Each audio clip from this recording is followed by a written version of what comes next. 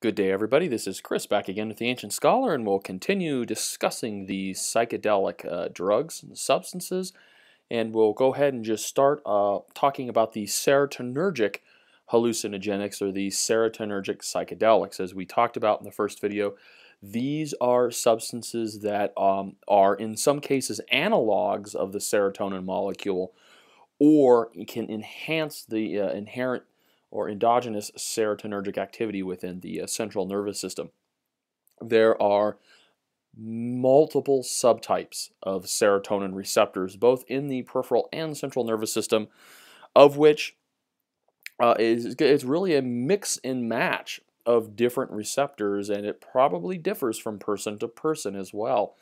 Uh, so when I say that it's a, that we're talking about serotonergic agents, what what we're, what I'm what I'm saying is I'm saying that in a very general sense, and then there are very specific types of physiology associated with specific receptors, and it, to make things even more complicated, it depends on what area of the brain those receptors are located, and so I'm kind of of um, being uh, very broad. Uh, but sometimes to really develop a, a, better understanding, we need to be a bit more provincial and talk about receptor, uh, specific receptor subtypes and and so on and so forth. And in some cases, we don't entirely understand. We don't have the we don't have a complete understanding, um, but we do know that it is overall serotonergic activity, and there are certain receptors, uh, serotonin receptors that can be blocked, and it can be inhibited, and be enhanced, uh, antagonized, and agonized. Uh, so let's just start. I think the, the, the, the easiest starting point is starting at a molecule that is very similar, the most similar hallucinogenic to the actual serotonin molecule. So here's serotonin. Let's just review. And again, um, yellow uh, just think of that those as being carbons. I'm kind of short on carbon today, so and I'm kind of short on hydrogen, so I only put hydrogens where where it's really relevant, and then you just have to fill in the blank that oh yeah there'd be there'd be hydrogens here as well to to, to meet the um, octet of the carbon atoms. So this is uh, serotonin 5 hydroxytryptamine, and we know that this is a trip derived from the amino acid tryptamine, um, and uh, so here we go. We have 5-hydroxytryptamine. This is the serotonin molecule, and the first psychedelic agent that I'm going to talk about is something known as DMT, which stands for dimethyltryptamine. So as you might imagine, if I modify this a little bit um, and I add methyl groups, dimethyl, that's what it means, two methyl groups, then I can get from this to DMT quite quite easily. See, uh, serotonin is 5-hydroxytryptamine, as I have a hydroxyl group here, and then your tryptamine, basically a tryptamine molecule. Um, so what I do to to make DMT, dimethyltryptamine, is the first thing I do is I get rid of the um, hydroxyl group here. So I'm going to pop that little guy off. So I've gotten rid of the 5 uh, hydroxyl group on the 5 carbon. And then what I do is these hydrogens, this is an NH2 group here, a nitrogen and two hydrogens. What I'll do is I will substitute these hydrogens for methyl or CH3 groups. Of course, removing those, those oxygens um, is going to uh, basically involve um, reducing, okay, I'm reducing the uh, serotonin molecule, and I'm making five, or I'm making dimethyltryptamine. I've removed the 5-hydroxyl group, and I've substituted the two hydrogen atoms on the nitrogen with methyl groups. So what has that done?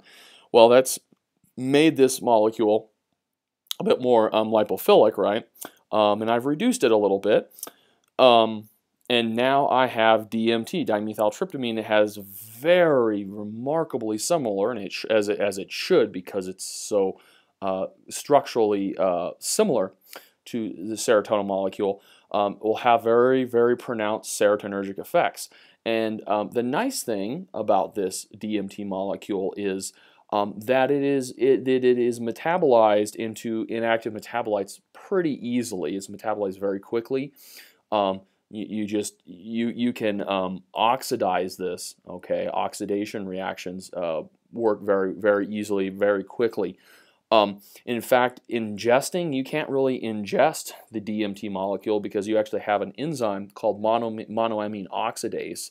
Um, as you might guess, oxidizes the amine side chain here, um, or MAO, MAO, and um, that uh, in addition to located within the, the, the, systemic parts of your body, that enzyme is also located um, in uh, the intestines. And it's one of the enzymes that you see in the brush border. Uh, it's a brush border enzyme in the, in the microvilli of the intestines. So if I were to ingest a bunch of DMT, um, that DMT would be quickly oxidized and essentially inactivated uh, by a monoamine, monoamine oxidase, the MAO enzyme in the intestinal flora. So we don't actually ingest this, um, or do we? Well, the interesting thing about DMT is um, the use of DMT um, goes back at least 2,000 years. Uh, and uh, it's actually still going on today. And uh, we can date this back to uh, Brazil and Peru primarily, where it was used thousands of years ago. And it was uh, a. Um, it was used medicinally, and um, I believe there is some evidence that psychedelics may have had a, a role, played a role in some of the sacrificing um, that occurred in that region as well, though I'm not as uh, versed on that, that history uh, so you'll have to take anything I say there um, very, very cautiously and very unoptimistically and very skeptically. Okay, so uh, what they what what they do is they uh, there there are a, a few different um, uh, trees. They use the bark and the leaves of bushes and trees, uh, a few different types, and they make kind of a tea-like substance.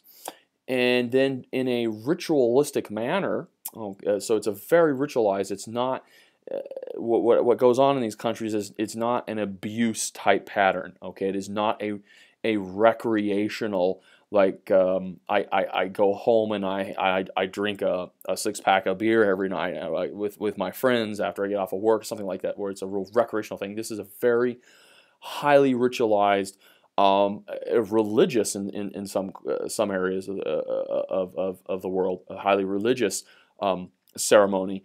Uh, so it's not this willy nilly, oh, we're going to go out and drink this tea. It's a very ornate, highly ritualized procedure that occurs. Um, and and what happens is when they when they drink this, the the tea, quote unquote, not only does it contain DMT, but it contains um, some other substances. One of which is a molecule that actually inhibits the monoamine oxidase enzyme.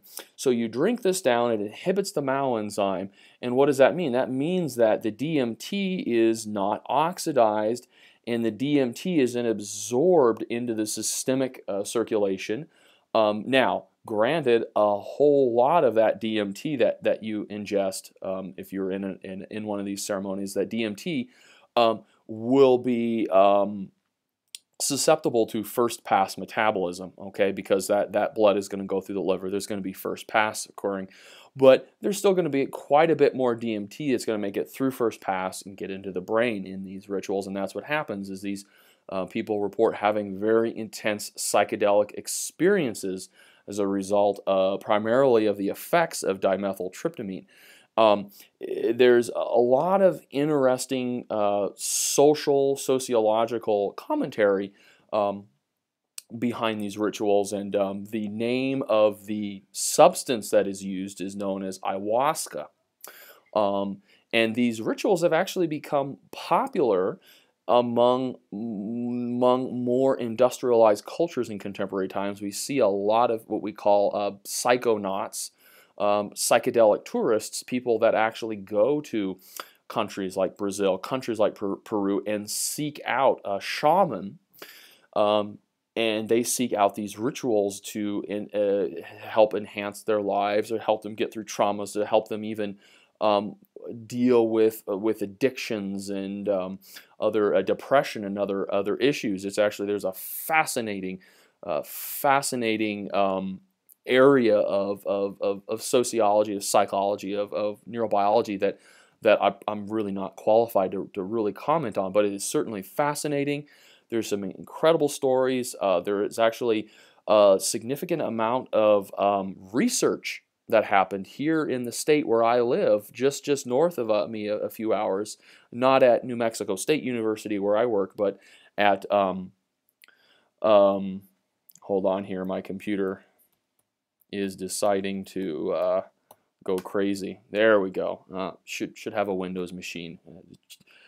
That's what I get for having a Mac. Anyway, uh, the, so the significant amount of research has occurred up a few hours north of me, up at the University of New Mexico or UNM, uh, back in the 90s. Um, a Spanish, I believe, was a, a gentleman from Spain who uh, was uh, it either it was either uh, working on postdoc or working on his doctoral. Did a lot of uh, research on uh, DMT, so we have some pretty good contemporary research um, there, um, uh, at least uh, lab-based in in vitro uh, type research on um, human test subjects. Um, so there are some really interesting stories about that, um, and when you look at the safety of it. Um, be, you know, it's not an abused substance. People do not seem to be abusing this. It does seem that a lot of people that use this, that are involved in these rituals, um, there there have been some some some evidence that, that suggests that the, a lot of these people, their lives are enhanced greatly by um, by integrating this uh, this ritual, the the the the um, psychedelic experiences that they they receive from DMT uh, by integrating these experiences into their, their life philosophy. Um, and apparently have very profound experiences in their terms like ego death, and people talk about um, being able to get rid of um, the, the, ego and being able to analyze um, their their lives and their, their emotions and um, uh, things from very very different perspectives. I, I don't I don't have the um, the personal or anecdotal uh, perspective to really talk about about that, and I don't have the psychological background um, to talk about it with any amount of um, seriousness, if you will. But uh, it is fascinating. It, it, appears to be very helpful for some people, and it appears to be very safe. Um, very few deaths. There, there are a couple of people that have died, and the, the circumstances seem kind of interesting. And I, I don't know that it was necessarily a result of the, the ayahuasca tea. It may have been some other things.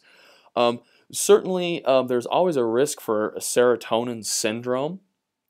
And anybody who takes uh, the selective serotonin reuptake inhibitors, the SSRIs, these are antidepressants, um, uh, could be at risk for developing serotonin syndrome too, where you get hyperthermic and tachycardic. And um, uh, there is a risk for that. And um, in fact, people that do these ceremonies, that's one of the recommendations is they, re- you have to be off of um, monoamine oxidase inhibitors. You have to be off of selective serotonin reuptake inhibitors. You have to be off of these antidepressants for uh, several weeks at least uh, to have a safe uh, ayahuasca experience or, or, or um, journey.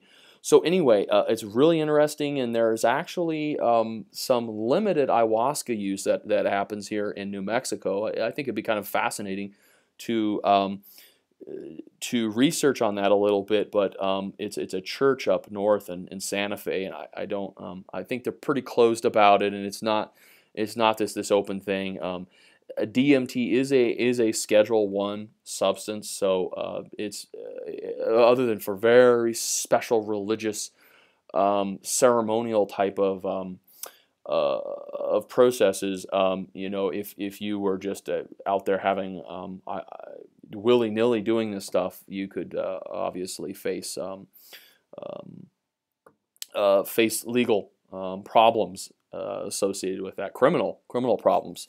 Um, but there you go. That that is something that's really interesting, real fascinating. A lot of history there.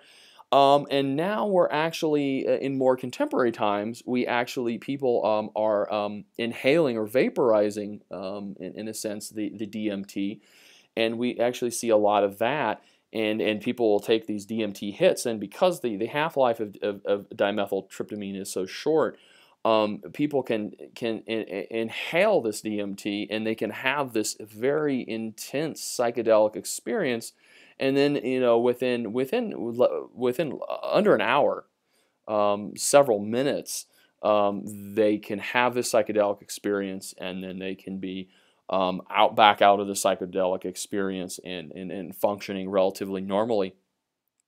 Um, and some people have even termed this like the the working's man psychedelic or the the gentleman's lunch or yeah there there are some uh, terms there but um, that's becoming very popular. We we see a lot of it um, being used here in the United States. It's still uh, a schedule one substance. I don't even know that there are really good statistics on DMT use I, I assume that that there probably the prevalence is, is reasonably high. I'm not aware of um, significant um, morbidity or mortality associated with its use. Um, but it, it has the same very intense effects. Of course, it's not being subjected to the, the first pass uh, metabolism that you would see with um, you know ayahuasca and DMT that was ingested. Um, so there we go. I've been going on for a long time, and I haven't really spent a whole lot of time talking about the chemistry, but the chemistry is fairly straightforward with DMT. It's it's really just it's a modified form of serotonin, so it's going to have very pronounced serotonergic effects. Um, people are going to have uh, generally are going to have pretty um, pretty interesting hallucinogenic experiences. Um, and uh, DMT does not appear to be as a potent a hallucinogen as some of the other serotonergic agents, in particular LSD, which is an agent that I'll be talking about in subsequent videos. Okay, guys, I think I've um, pretty much covered what needs to be covered there. It's kind of fascinating, a lot of really cool history there, um, really interesting. So hopefully you guys enjoyed this video, and as always, thanks for hanging in there, guys.